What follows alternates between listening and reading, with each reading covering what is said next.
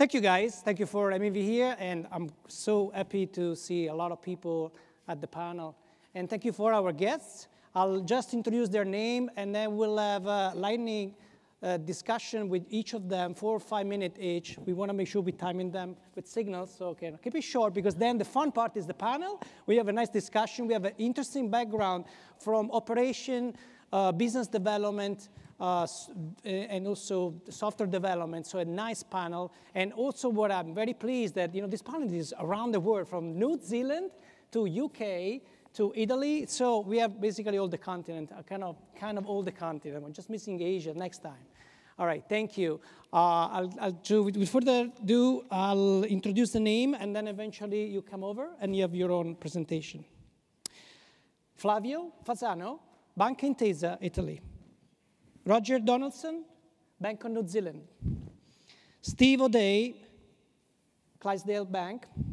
And Amin from Nordea Bank and Hernandez Felipe from uh, Santander Santac.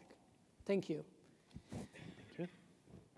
First of all, let me just, uh, I'm very, very honored actually to do a quick update to all of you. I think is something due uh, probably a week ago, if not two. Um, the clicker is here, perfect. Here you go. So I just want to mention something. Uh, a new, newly formed uh, organization, FINOS, uh, is probably the first time ever that we have an open community foundation that only is only dedicated to financial services and open source. So many banks are now finally joining uh, to uh, contribute into the open source. What is all about Finos is a great idea, is united the open source community and the financial service community to start together to collaborate on creating solution for financial services. As you know, historically, bank had been consuming open source for quite a while, probably a couple decades. Probably the biggest open source project that they consume is Linux, right? And also the variation of Linux being the Red Hat Enterprise Linux supported version. But moreover, there are many other body of code that are being present at your banks. I'm sure you guys using Tomcat, you're using Hadoop, and many other open source. So this is Finos, is finally uh, the joint venture between FinTech and FinServe. I like very much that you know the, the, the new entrants to the financial service industry are meeting the banks into a community to really uh, organize themselves and share code and, and solutions. So if you, if you see a lot of very interesting members from the financial service community, very top tier banking, but also financial service and technology services joining the community.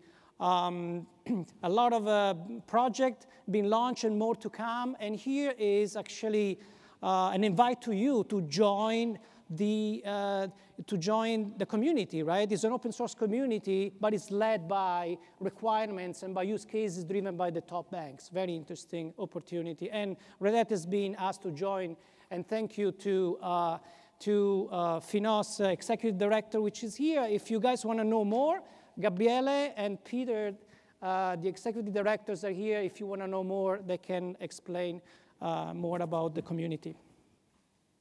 What is interesting, why I brought it up, because we just launched two weeks ago together, and the OpenShift uh, is the foundation of the um, Finos open development platform. So we are very proud that the community is using the technology that you guys are expert in, and um, many banks have been already contributing to share their code. We have Deutsche Bank, for example, that uh, offered two uh, major projects here.